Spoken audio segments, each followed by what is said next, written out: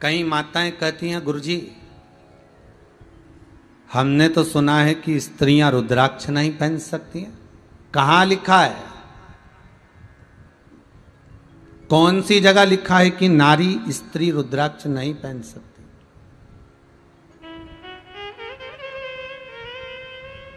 लिखा कहाँ है? पढ़ा है। तो शंकर की कृपा दृष्टि आप पर पड़ी हुई है। उलझोगे नहीं कभी संसार में, कहीं।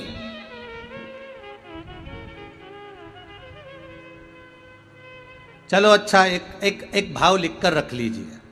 आपके घर में बच्चे का जन्म हो हो जाए वो एक आध साल का, डेढ़ साल, दो साल का, उसके बाद उसके गले में रुद्राक्ष पहना तो जीवन पर्यांत के लिए।